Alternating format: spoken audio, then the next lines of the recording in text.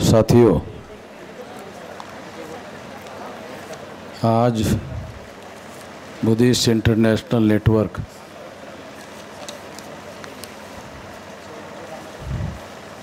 इस संगठन का पांचवा महाराष्ट्र राज्य अधिवेशन है। और इस अधिवेशन का कंक्लूडिंग भाषण करने के लिए मैं आप लोगों के सामने उपस्थित हूँ। साथियों,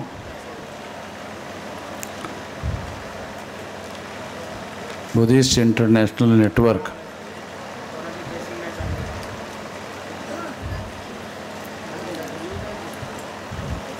ये जो संगठन है, संगठन के बारे में ठीक से हम लोगों को समझने की ज़रूरत है।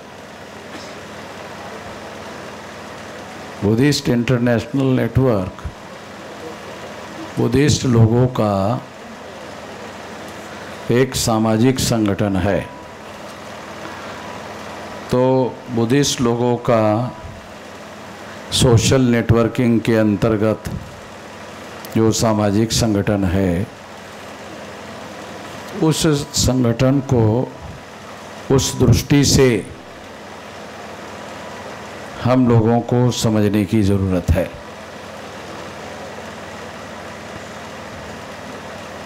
यदि इस दृष्टि से हम समझने की कोशिश नहीं करेंगे तो इससे एक इस संगठन के ज़्यादा बड़े पैमाने पर फैलने के लिए रुकावट पैदा होगी। हम लोग थोड़ा इमोशनल ज़्यादा काम करते हैं, दिमाग से थोड़ा कम करते हैं। इस वजह से समस्याएँ पैदा होती है। बाबा साहब अंबेडकर फैसले अपने दिमाग से करते थे तो फैसले सारे दिमाग से ही होने चाहिए। और उसका प्रॉस एंड कॉन्स जो है, उसके नेगेटिव और पॉजिटिव जो परिणाम है। उसका काम करने के पहले पूर्वानुमान करने की योग्यता होनी चाहिए कि उसका भविष्य में क्या परिणाम हो सकता है। यदि आप लोग बुद्धिस्ट इंटरनेशनल नेटवर्क को बौद्ध धर्म के प्रचार का साधन बना लोगे तो फिर गैर बुद्धिस्ट इस संगठन में कैसे आएगा? ये एक संकट है। और अगर ये संकट है तो इसका समाधान बुद्धिस्ट इंटरनेशनल नेटवर्क के लोगों को करना चाहिए। हम लोग काम करते वक्त अभिनिवेश बहुत ज़्यादा होता है। तो अभिनिवेश में क्या होता है? इमोशन बहुत ज़्यादा होते हैं। इसमें अभिनिवेश बहुत ज़्यादा होता है। और अभिनिवेश जो है वो हमारी जो बौद्धिक बात है, उस पर हावी हो जाता है। तो उसका परिणाम भी जो हम पब्लिक लाइफ में, संगठन तो पब्लिक लाइफ में काम करता है ना? ये हॉल में थोड़ी करता है। वो अंतिमता, हम जहाँ बौद्धिक कार्य करते हैं, अधिवेशन के माम, माध्यम से तो अंतिमता तो समाज में जाता है। वो तो समाज में जाना है ना यहाँ से। तो समाज में हम लोग वही लेकर जा सकते हैं जो यहाँ हम लोग समझेंगे। जो दूसरे लोग करते हैं, उस तरह से काम करने से अगर काम करोगे तो फिर तो ये भी उन्हीं लोगों की तरह।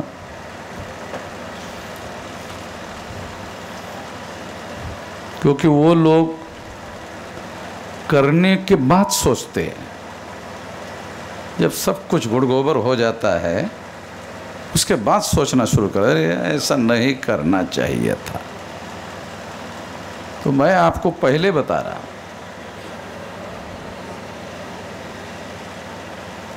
तो ये समझना जानना बहुत ज़रूरी है। तो उससे क्या होगा, अगर आप मान लो बौद्ध धर्म का प्रचार का ऑब्जेक्टिव बनाकर काम करोगे तो ये लिमिटेड हो जाएगा बुद्धिस्ट लोगों के अंदर। आप अपनी सीमाओं को बाँध लोगे। ये इतने ही लोगों के बीच में काम करना है। तो हमें ये समझ में नहीं आता। मान लो आप ऐसा कहते हो। कि बाबा साहब अंबेडकर का लक्ष्य जो है ये भारत बौद्ध में करना है। तो कभी आप लोगों ने ऐसा सवाल अपने सामने उठाया? कैसे होगा?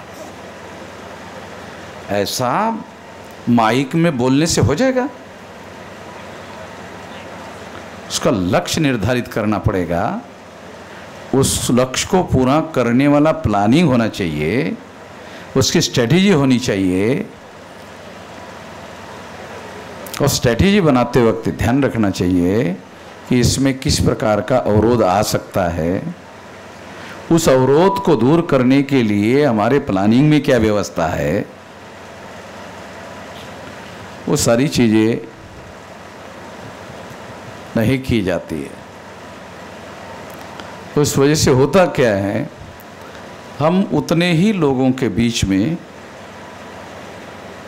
चर्चा करते रहते हैं। और ये चर्चा करते वक्त हमें अभिनिवेश बहुत ज़्यादा होता है। आओ, बहुत अभिनिवेश होता है। उस अभिनिवेश से बहुत भारी नुकसान हो जाता है।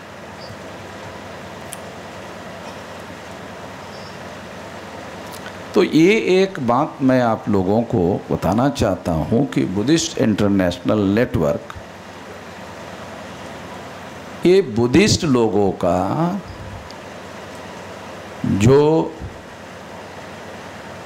सोशल नेटवर्किंग का कार्यक्रम है, उसके अंतर्गत बनाया नहीं हम लोगों ने।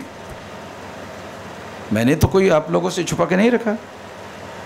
मैं तो घोषित करके कहा। कि ये बुद्धिस्ट इंटरनेशनल नेटवर्क ये जो सोशल नेटवर्किंग का, भौगोलिक नेटवर्किंग के बाद सोशल नेटवर्किंग का कार्यक्रम है, उस सोशल नेटवर्किंग को पूरा करने के लिए न बनाया गया है ये।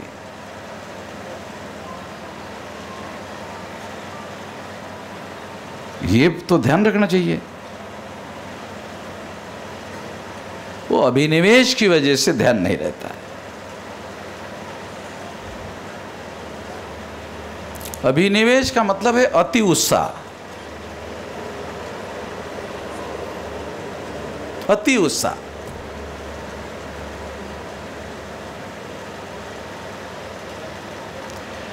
तो बुद्धिस्ट इंटरनेशनल नेटवर्क को सामाजिक नेटवर्किंग का, सोशल नेटवर्किंग का बुद्धिस्ट लोगों के सोशल नेटवर्किंग का संगठन मान। ये इससे क्या होगा? इससे क्या होगा? जो तुम चाहते हो उससे ज़्यादा होगा, मगर जो तुम तरीका अपनाते हो उससे यही ठप हो जाएगा। ना समझी की वजह से ऐसा होता है? तो बुद्धिस्ट इंटरनेशनल नेटवर्क को समता, स्वतंत्रता, बंधुता और न्याय पर आधारित समाज और राष्ट्र का निर्माण करने का काम करो ना। ये लक्ष्य रखो इसका।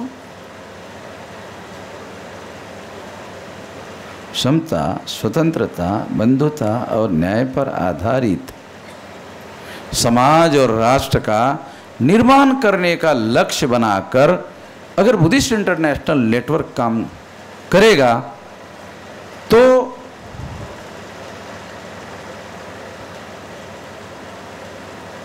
तो इस देश में शेड्यूल कास्ट के लोगों को शेड्यूल टाइप के लोगों को एमबीसी के लोगों को ओबीसी के लोगों को समता नहीं चाहिए। चाहिए। स्वतंत्रता नहीं चाहिए? चाहिए। बंधुता नहीं चाहिए? चाहिए। न्याय नहीं चाहिए? चाहिए। तो इस लक्ष्य को लेकर काम करोगे तो वो लोग आएँगे ना। और आपका पर्सपेक्टिव जो है, काम करने का जो क्षेत्र है, व्यापक हो जाएगा। बौद्ध धर्म का प्रचार करने का लक्ष्य रखा आपने। जो लोग गलती से गलत बात मान रहे हैं, तुम्हारी क्यों सुनेंगे?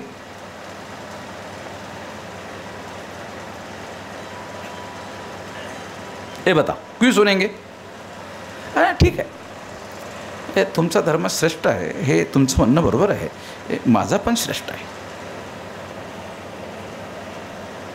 काय करा? भांडणं करायचं का समजावून सांगायचं?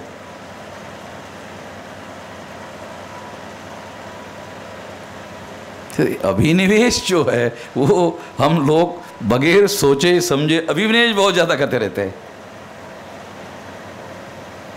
हम हम सोचते नहीं हैं इसका परिणाम क्या होगा।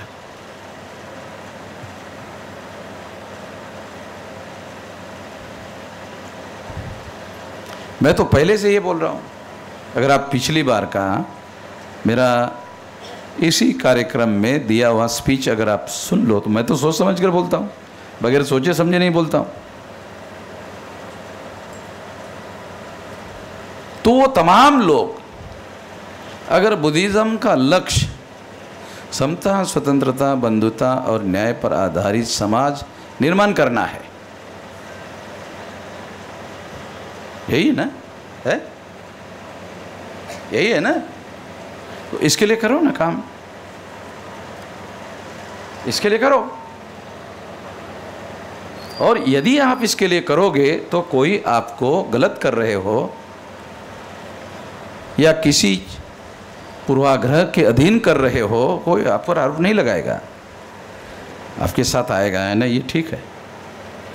देश में समता प्रस्तावित करने की ज़रूरत है, स्वतंत्रता प्रस्तावित करने की ज़रूरत है, न्याय प्रस्तावित करने की ज़रूरत है, बंधुता प्रस्तावित करने की ज़रूरत है और इसके लिए संगठित रूप से काम करने की ज़रूरत है।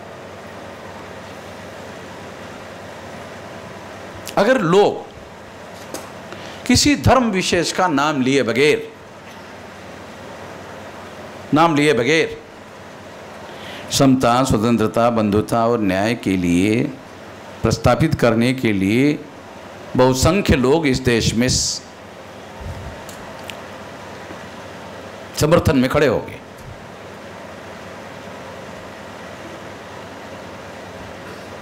आपको क्या दिक्कत है?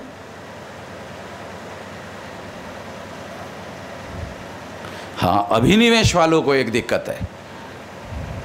ते बरोबर ते बुद्धिस्ट नाही आहे। ते बरोबर आहे, चांगलं आहे। ते बुद्धिस्ट नाही आहे पण सर्व महार बुद्धिस्ट झालेत बाकी नाही आले तर चालतील. हे बरोबर आहे. बरोबर आहे?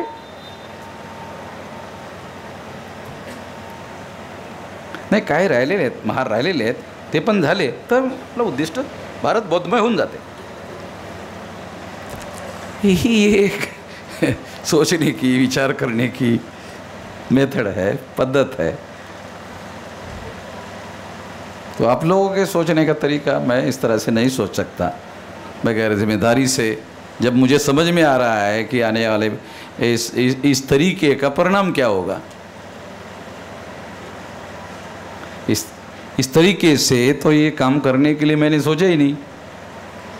मैंने ये सोचा कि इस देश में समता स्वतंत्रता बंधुता और न्याय पर आधारित समाज और राष्ट्र का निर्माण करने के लिए जो बहुसंख्य लोग है, उसको साथ में लाना है। जब मैं इस तरह की बात करने के लिए जो लोग ब्राह्मण धर्म के प्रभाव क्षेत्र में है, मैं उनके साथ बात करने के लिए जाता हूँ तो उनको भी सुनना पड़ता है। उसमें से कुछ लोग टूट टाट कर फिर मेरे पास आ जाते हैं। कि नहीं, आप जो कह रहे हो बराबर, उनका सही नहीं है। मैं ये नहीं कह रहा हूँ कि बौद्ध धर्म का प्रचार करने वाले जो लोग हैं, वो गलत काम कर रहे हैं। नहीं नहीं, ये मैं, ये सब्जेक्ट पर नहीं बोल रहा हूँ मैं। ये तो आप लोगों को ये बोल, अरे, आप गलत काम कर रहे हैं, गलत बोल रहे हैं। नहीं नहीं, उनको करने दो ना। जो ऐसा काम कर रहे हैं, करने दो। नहीं नहीं, तुम ये गलत कर रहे हो, ऐसा भी तो मैं नहीं कह रहा हूँ। उनको जो करना है करो, करने दो। आपको समता, स्वतंत्रता, बंधुता और न्याय पर आधारित समाज और राष्ट्र का निर्माण करना चाहिए। ये काम अगर हम करते हैं तो इसके लिए ब्राह्मण धर्म के प्रभाव में बड़े पैमाने पर जकड़े हुए लोगों को भी निकाला जा सकता है। अगर आप उनको ये प्रस्ताव दो कि हमें समता, स्वतंत्रता, बंधुता और न्याय पर आधारित समाज और राष्ट्र का निर्माण करना है तो वो आपका साथ में ना कहने के लिए उनके पास आधार नहीं रहेगा। तुम्ही जर असं म्हटला हा, धर्म श्रेष्ठ आहे बरं हे लक्षात ठेवा हाँ हे लक्षात ठेवा पाटील, लक्षात ठेवा श्रेष्ठ आहे बरं हे। तुझं तुझं ओके ते तुझं आहे ते तू बघून घे।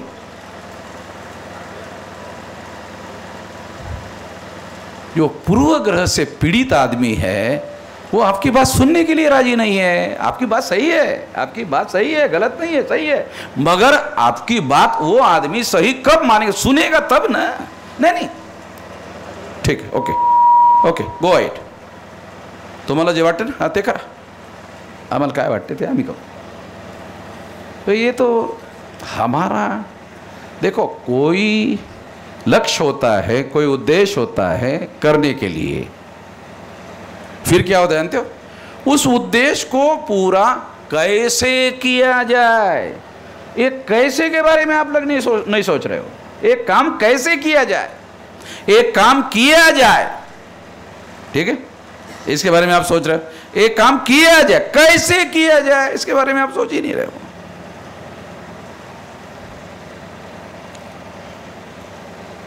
इस वजह से समस्या आती है। तो मैं ऐसा मानता हूँ कि बुद्धिस्ट इंटरनेशनल नेटवर्क जो है, इसको एक सामाजिक संगठन रहने दो। और इसको ज़्यादा कट्टरता से समता, स्वतंत्रता, बंधुता और न्याय पर आधारित समाज और राष्ट्र का निर्माण करने के लिए ज़्यादा एनर्जी लगाओ। तमाम लोग जो आपके फोल्ड में नहीं है, तमाम जाति के लोग छः हज़ार दो सौ सैंतालीस जाति के schedule caste, schedule tribe, backward class के लोग, सभी लोगों से आप संवाद करने के लायक रहोगे। हम संवाद करने के तो लायक रहना चाहिए ना हमको। संवाद की प्रक्रिया दूसरा आदमी सुनेगा, तब पूरी होगी। एकटाच माणूस ओरडत राहिला तर लोक म्हणतील पागल झाला लोक म्हणजे पागल झाले एकटंच बोलते। त्याचं कोणी ऐकत नाही तरी बोलते एकटंच बोलत राहते।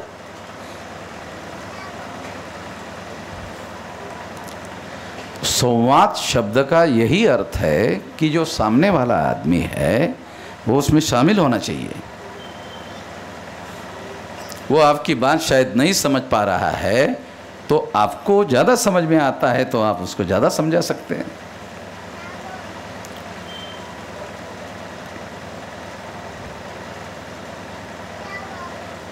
तो ये बात मैं आप लोगों को आग्रह लेकर समझाना चाहता हूँ कि ये लड़ाई का मामला है, आंदोलन का मामला है, और हर आंदोलन की रणनीति होती है। जिसकी कोई रणनीति नहीं हो सकती, उसकी लड़ाई न लड़ी जा सकती है, न कामयाब की जा सकती है। तो ये संगठन एक व्यापक रणनीति को पूरा करने के लिए बनाया गया ऑर्गन है। यह समझने की ज़रूरत है। अति उत्साह से हम लोग बहुत बार भारी नुकसान कर लेते हैं।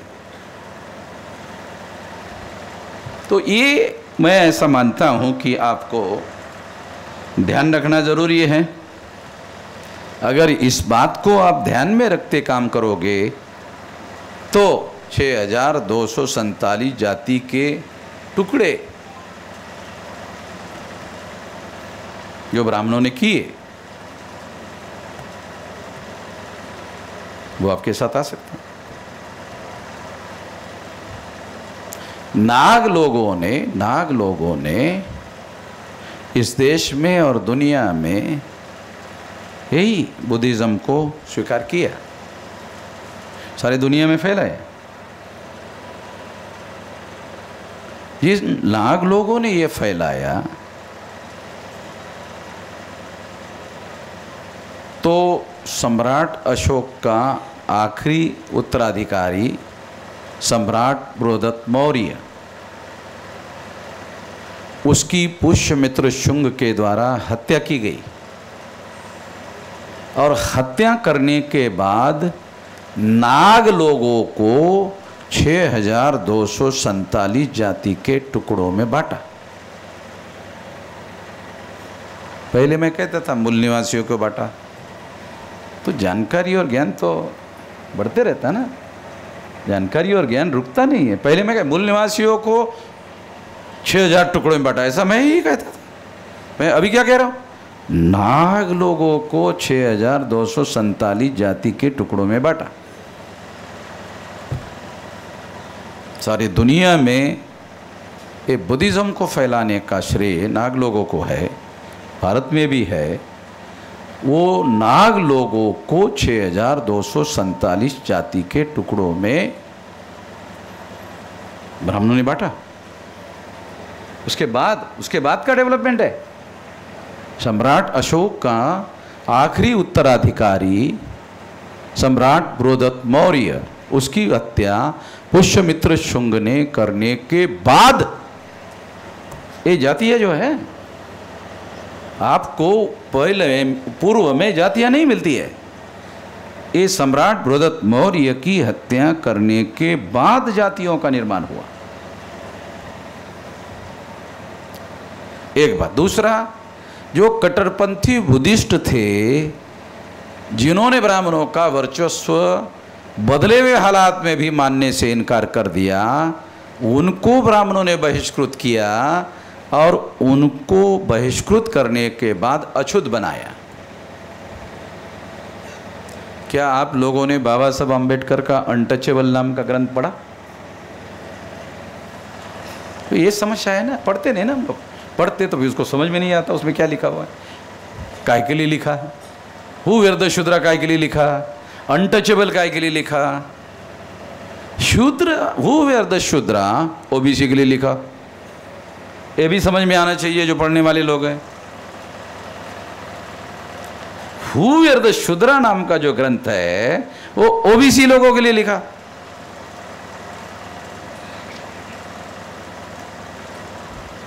और अगर ये, क्योंकि बहुत सारे पढ़े लिखे जो लोग हैं अम्बेडकराइट लोग हैं, वो अछूतों को ही शूद्र कहते हैं। समझ में नहीं आता। अछूत शूद्र नहीं है। ध्यान रखो, अछूत लोग शूद्र नहीं है।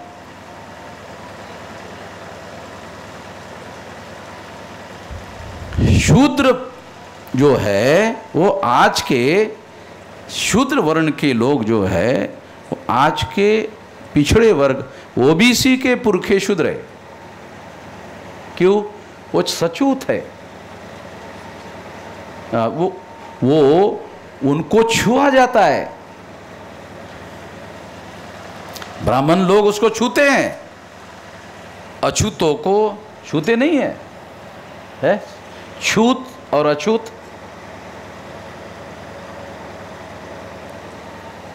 एक होता है हथियार से मारना। एक हथियार है? हथियार से मारना। तो लोकतंत्र में हथियार चलाना तो गैर कानूनी है। फिर आपके पास हथियार कौन सा है? शब्द। फिर क्या है? हथियार क्या है? चाकू, छुरी, बंदूक, गोली गैर कानूनी है। तो फिर आप कौन सा हथियार चलाओगे? शब्द। शब्द है ना हथियार। तो इसलिए आप लोगों को शब्दों पर ध्यान देना चाहिए। शब्दों को हथियार बनाना चाहिए। शब्दों के माध्यम से आप अपना मैसेज दे सकते हैं। तो बाबा साहब अंबेडकर ने एक किताब लिखा, हु वेर द शुद्रास? दूसरा, अनटचेबल लिखा। तो अनटचेबल लोग अलग है। नहीं होते तो अनटचेबल अलग का नहीं लिखते फिर अनटचेबल में क्या लिखा? कि अनटचेबल पूर्व के बुद्धिस्ट है। बराबर है? सच आहे हे पंडित लोक आहेत. मी नाही आहे पंडित. म्हणजे तुम्हाला मी थोडं जरा म्हणजे थोडा वेगळा कट्टरपंथी माणूस आहे. ते तर्काच्या आधारावर पुराव्याच्या आधारावर जेवढं समजते तेवढंच बोलतोय. मी पंडित नसल्यामुळे.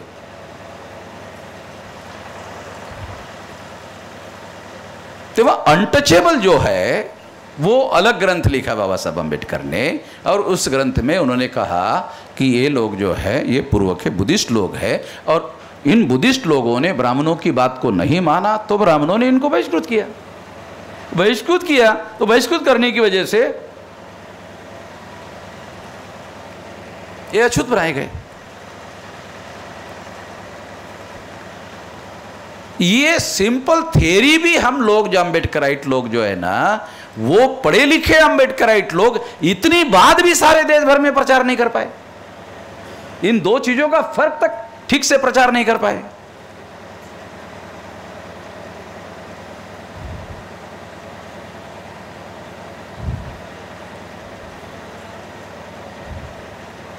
इससे क्या होता है? इससे देखो क्या होता है, अभी बताता हूँ। आपको समझ में आ जाए। मान लो कि आप शेड्यूल कास्ट को शूद्र घोषित करते हो। तो जो शूद्र है तो बोले कि तो वो तो तुम शूद्र है ना? हम तो नहीं है। तुम हो। हम नहीं है। हो गए तुमसे अलग हो गए ना? तुम फिर उसके पास इस तरह की बात करने के लिए नहीं जा सकते। तुम उस लाइट में उसको समझा नहीं सकते। हो गया ना? कितना नुकसान हो गया?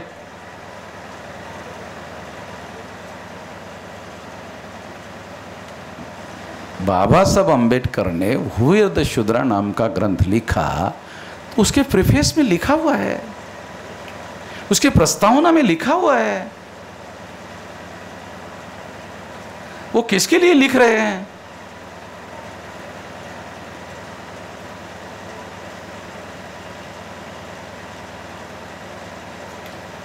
तो इस तरह से कभी भी मतलब बाबा साहब अंबेडकर का अगर कोई किताब आप पढ़ना चाहते हो भविष्य में तो पहले प्रीफेस पढ़ो। प्रस्तावना जो है ना बाबा साहब अंबेडकर के किताब की, उसको पहले पढ़ो, उसको पहले समझ लो, उसके बाद किताब पढ़ो। क्योंकि प्रिफेस में या प्रस्तावना में ये किताब लिखने का ऑब्जेक्टिव है। वो ये ऑब्जेक्टिव फुलफिल करने के लिए वो किताब लिखा गया है तो वो ऑब्जेक्टिव फुलफिल करने के लिए क्या लिखा? इस लाइट में जब पढ़ोगे तो वो बात आपको ज़्यादा समझ में आएगी। तो नाग लोगों के टुकड़े किए गए जातियों में। ये जो टुकड़े हैं, ये जातियों के छः हज़ार दो सौ सैंतालीस जाति के जो टुकड़े हैं, ये नाग लोगों के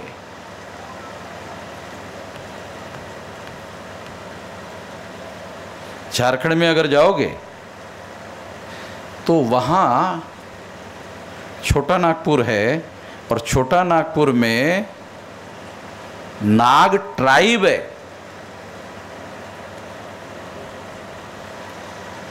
अरे समझ, क्या बोल रहा वो शेड्यूल क्लास भी नहीं है, बैकवर्ड क्लास भी नहीं है। छोटा नागपुर में नाग है और वो नाग ट्राइब है। बड़ा नागपुर में आ जाओ। अरे छोटा है तो बड़ा होगा ना। अरे बड़ा नहीं, छोटा कैसे हो सकता? छोटा तभी हो सकता है जब बड़ा है।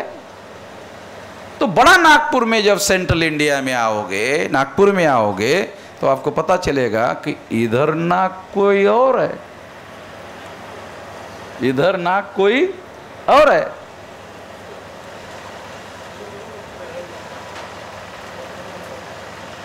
इस तरीके से स्टडी करते आना चाहिए। और स्टडी करके फिर उसके सबूत ढूंढो। तो आपको मिल जाएँगे। लिखित में मिल जाएँगे, अलिखित में मिल जाएँगे, परंपराओं में मिल जाएँगे, सांस्कृतिक आचरण में हो जाएँगे। हमारे जीवन क्रम में कहीं ना कहीं कुछ ना कुछ रिफ्लेक्शन होगा और कहीं ना कहीं मिलेंगे। जिसको इतिहासकार भी सबूत मानते। तो इस लाइट में हम लोगों को बातों को समझना चाहिए। राजवाड़ी ब्राह्मण बहुत बड़ा इतिहासकार, बहुत बड़ा भारत का इतिहासकार माना जाता राजवाड़ी ब्राह्मण। और कट्टरपंथी ब्राह्मण राजवाड़े। उसने लिखा महाराष्ट्राची स्थापना नागांनी केली. तुम्ही काय म्हणून राहिले तुम्ही काय वेगळं म्हणून राहिले थोडं? परत यांनी केली यांनी केली त्यांनी केली पण तो फार पर्टिक्युलर आहे. तो काय म्हणतो? की जर महाराष्ट्राची स्थापना प्राचीन भारतामध्ये झाली होती तर शंभर वर्षापूर्वी मराठा शब्द आला. कळलं पाहिजे ना? मराठा जो शब्द आहे अरे तू ह्या शंभर वर्षाच्या जवळपासचा आहे. सौ साल के आसपास का है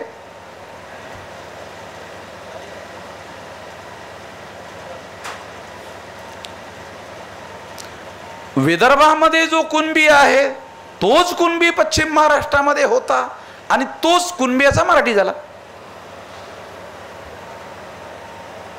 हे जे जात्यंतर आहे कुणबी म्हणजे कोण? ते बामण म्हणायचे, शूद्र. नाही नाही, आम्हाला शूद्र नाही म्हणायचं आम्ही क्षत्रिय, मग मराठा. ते उत्पत्ति कैसे होती है, उसके बैकग्राउंड में कोई ना कोई कोई ना कोई मनोविज्ञान जो है काम करता है।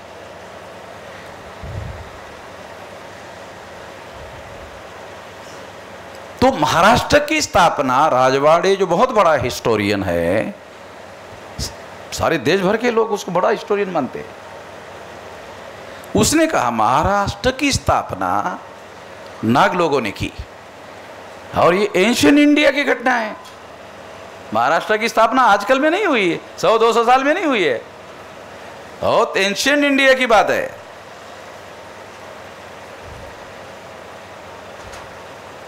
तो नाग लोगों ने अगर महाराष्ट्र की स्थापना की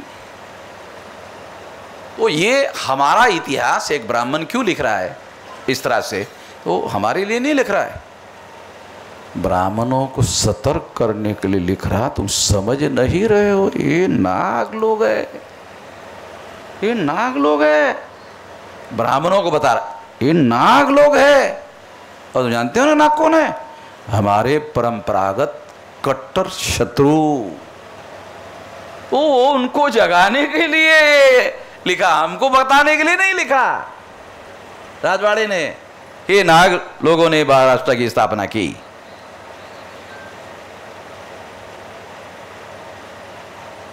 तो एक बात हम लोगों को समझना होगा और बहुत सारी परंपराएँ ऐसी है जिसका इंटरप्रिटेशन आपको एंशियन इंडियन हिस्ट्री में मिल सकता है। बहुत सारी डेटीज़ है, जैसे अभी ये चर्च ने कहा कि बहुत सारे जो मंदिर है, वो किसी न किसी डेटी के आधार पर।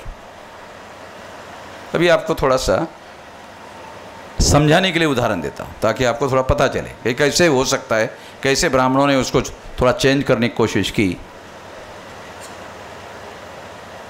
अब कोल्हापुर में महालक्ष्मी है, मंदिर है? मंदिर का नाम क्या है? महालक्ष्मी। तो भारतीय परंपरा में लक्ष्मी शब्द आता है। आता कि नहीं? अगर आप लोग भाषा का थोड़ा बहुत अभ्यास करते हो भाषा शास्त्र का तो उसमें आपको लक्ष्मी शब्द जो है, मिलता है। तो एक लक्ष्मी का अर्थ जो है, देवता की तरह है। तो ब्राह्मण कहते हैं हाँ ये देवता है। लक्ष्मी क्या है? एक देवता है। कौन सी देवता है? पैसे वाली देवता है। लक्ष्मी? पैसे वाली है। इतना तो आप लोगों को भी समझ में आता है। हाँ लक्ष्मी, पैसे वाली। गाँव देहात में भी लोग बोलते हैं, जब पैसे आए, ज़्यादा पैसे, लक्ष्मी आई। है? ठीक है? फिर एक लक्ष्मी शब्द का अर्थ होता है स्त्री। एक अर्थ होता है स्त्री। अमिताभ बच्चन के घर में लड़की पैदा हो गई तो उसने बयान दिया है, मेरे घर में लक्ष्मी आई। है? है? बयान दूसरे आदमी ने बोला होता तो अखबार वाले नहीं छापते।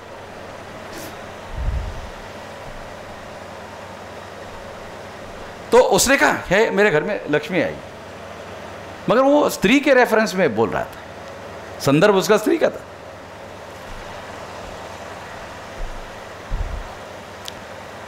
तो फिर यहाँ ऐसा है, ये शब्द स्वतंत्र है। तो ब्राह्मणों ने उसको महालक्ष्मी, ये शब्द जुड़ता नहीं है।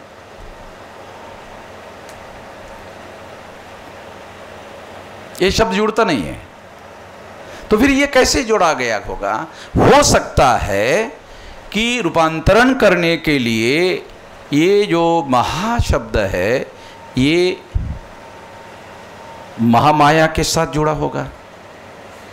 तो उसका रूपांतरण करने के लिए वहाँ ब्राह्मणों ने महालक्ष्मी कर दिया आप लोगों को लगता होगा या दूसरे लोगों को लगेगा अरे आप तो केवल शब्दों का इधर उधर कर रहे हैं संधि विग्रह करने का काम कर रहे हैं। नहीं नहीं नहीं, नहीं।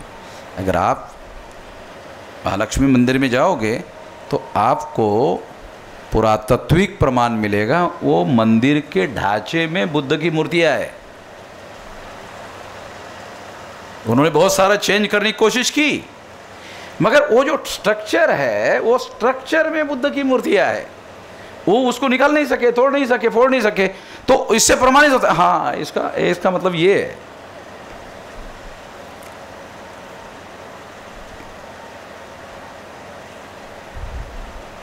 तो अगर वो मंदिर कल्पना करने, महामाया का होगा अब उसका ब्राह्मणीकरण करना है। महालक्ष्मी। हो गया इतिहास? अगर वो महामाया के नाम पर होता तो क्या होता? आपको डायरेक्ट समझ में आता? आपको ज़्यादा समझने की ज़रूरत नहीं थी? आपको ढूँढने की ज़रूरत नहीं थी? आपको पता चल जाता। लक्ष्मी लगा दिया, वो बैकग्राउंड में हिस्ट्री छुप गई। महालक्ष्मी, अरे हमारा नहीं। उल्टी प्रतिक्रिया होती है। निगेटिव प्रतिक्रिया होती है।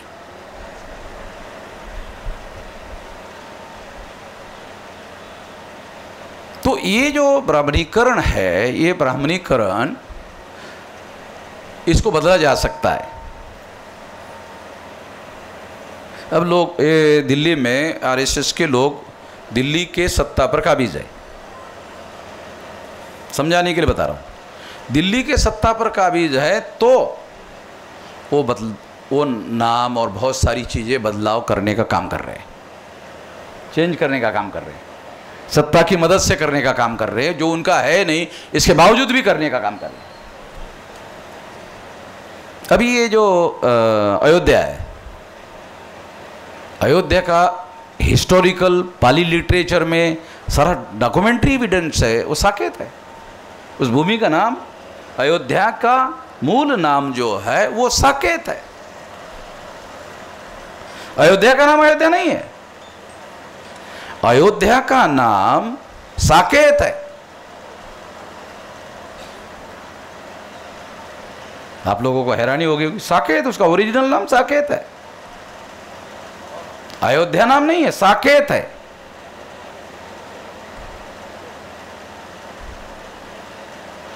सोलह साल तक बुद्ध वहाँ। निवास किया साकेत में। सोलह साल। तीन हज़ार भिक्षु वहाँ निवास करते थे। बहुत बड़ा सेंटर था। ब्राह्मणों ने मुसलमानों की मदद से उसे डिस्ट्रॉय किया। ब्राह्मणों को मालूम था। ब्राह्मणों ने नष्ट किया ना, वो नष्ट कर नहीं पाए तो मुसलमानों की मदद लेकर किया। इसीलिए ब्राह्मणों ने मुसलमानों को निमंत्रण दिया, आमंत्रण दिया, आओ। और मुसलमानों की मदद से ऐसे लगभग तीन हज़ार बौद्ध विहार है। ये आंकड़ा आरएसएस ने घोषित किया। तीन हज़ार मस्जिदों के नीचे मंदिर है ऐसा कह रहे हो। तो मैं समझ गया। तीन हज़ार बौद्ध विहार होंगे। मैं मैं कैसे सोचता हूँ? मैं ब्राह्मण कह रहे तीन हज़ार मंदिर थे। वो विहार मस्जिद के नीचे। मंदिर है। तो मैं समझ में आया ये तीन हज़ार ये बुद्धिस्ट सेंटर होंगे। अब मान लो ये बुद्धिस्ट को अलोकेट करना है। ओके ठीक है। आपको समझने के लिए बता रहा ये अलोकेट करना है। तो सेंटर में गवर्नमेंट चाहिए। आपको समझ में आए ज़्यादा बहुत ज़्यादा विस्तार से समझाने के बजाय आपको मैं सम, सेंट्रल में अगर आपकी गवर्नमेंट है तो आप ये कर सकते हैं।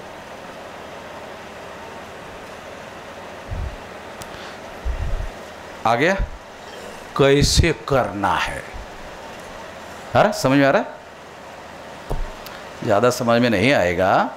तो कुछ बातें आप मेरे ऊपर छोड़ दो। ज़्यादा समझ में नहीं आएगा। मगर आपको समझाने का प्रयास कर रहा हूँ कि कुछ करना होता है, उसमें सबसे अहम चीज़ होती है कैसे करना। वो कैसे का अगर समाधान आप नहीं करते हो तो फिर आप कुछ भी नहीं कर सकते। सारा मामला गुड़गोबर हो जाता है, सारा मामला बिगड़ जाता है।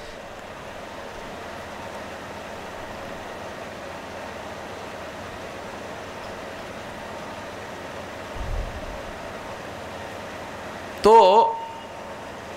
मैं ऐसा मानता हूँ कि आप लोगों को रणनीति को अमल में लाने के लिए काम करना चाहिए और अभिनिवेश जो है वो थोड़ा अपने कंट्रोल और काबू में रखना चाहिए। रणनीति को ध्यान में रखो और उस रणनीति को अमल में लाने के लिए काम करो।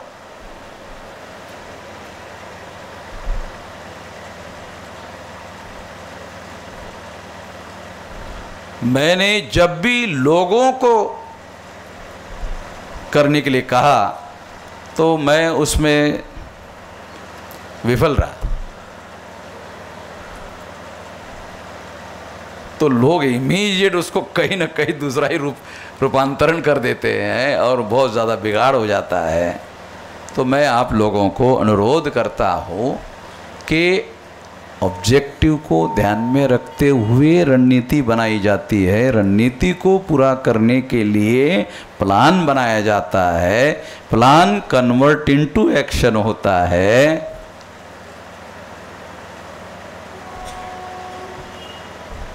ये ध्यान में रख के करना होगा।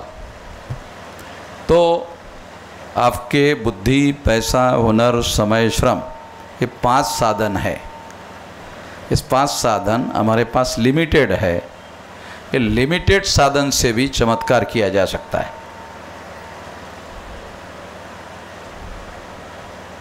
हमारे पास लिमिटेड साधन है। हमारे पास कोई टाटा बिरला, अंबानी, हमको पैसा नहीं दे रहा है। हम लोगों को बुद्धि, पैसा, हुनर, समय, श्रम, सारा का सारा अपने ही अंदर से डेवलप करना पड़ रहा है। तो ये जो बुद्धिस्ट इंटरनेशनल नेटवर्क है इस बात को ध्यान रखो कि बाबा साहब अंबेडकर ने ये अनटचेबल पूर्व के बुद्धिस्ट थे, इतना ही नहीं कहा। जिन लोगों ने ब्राह्मणों के वर्चस्व को स्वीकार नहीं किया, उनको बहिष्कृत किया। उसका क्या अर्थ है? जिन्होंने स्वीकृत किया, वो भी बुद्धिस्ट थे। ध्यान रखो। सेंटेंस का अर्थ समझो, ठीक से? वो भी थे। जब सारा ही भारत बौद्धमय था अफ़गानिस्तान तक, यहाँ तक तो अफ़गानिस्तान तक था। अशोका ने ही तो भेजा था उधर, कंधार में। मतलब मुझे अशोका के बाप ने ही तो अशोका को कंधार में भेजा था।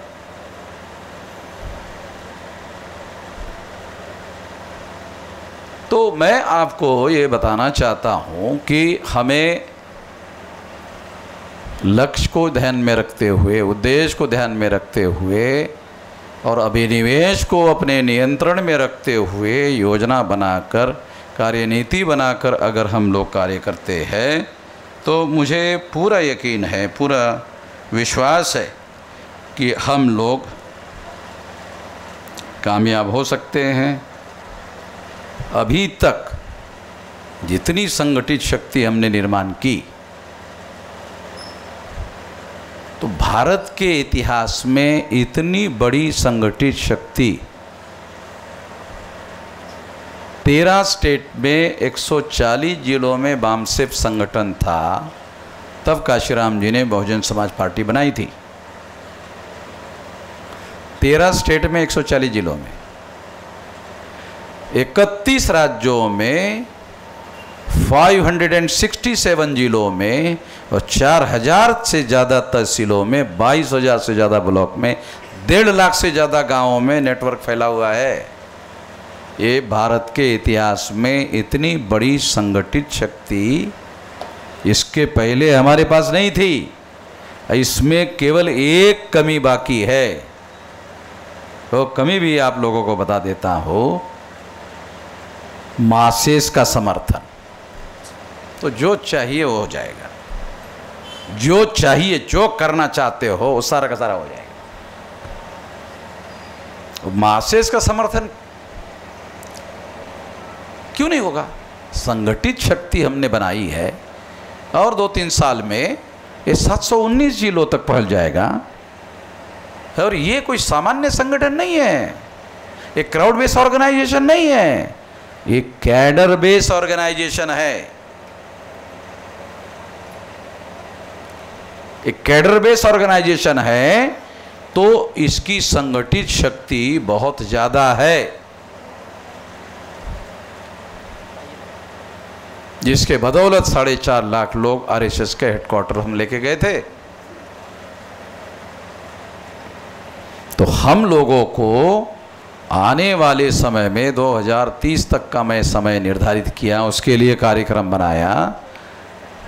उसके लिए डे टू डे कार्यक्रम बनाया है। 2030 तक 6 लाख गाँव का संगठन, भौगोलिक नेटवर्किंग, सोशल नेटवर्किंग और ऑफशूट ऑर्गेनाइजेशन का, सौ संगठनाओं का जाल। ये तीन काम करने हैं 2030 तक। दोबारा बताता हूँ।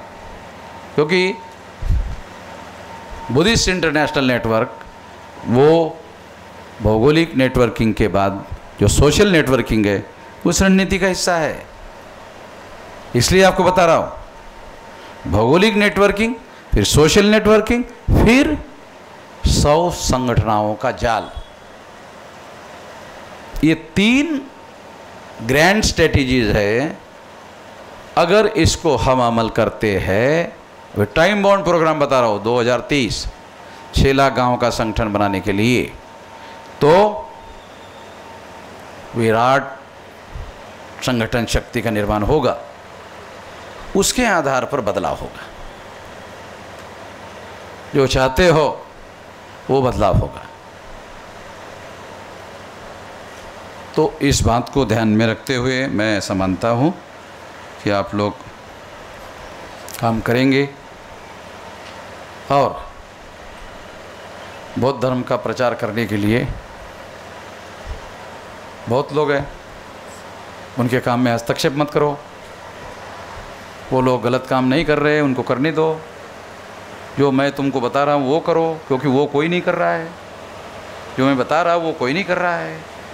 जो बौद्ध धर्म का प्रचार करने वाले लोग हैं, वो बहुत लोग हैं, वो कर रहे हैं, उनको करने दो।